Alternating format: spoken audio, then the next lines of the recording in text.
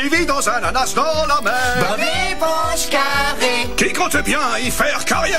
Bob l'éponge carré. Si vous avez un souhait, qu'il faut-il appeler Bob l'éponge carré. Qui n'a pas peur des gros méchants poissons Bob l'éponge carré. Bob l'éponge carré. Bob l'éponge carré. Bob l'éponge carré. Bob l'éponge carré Wow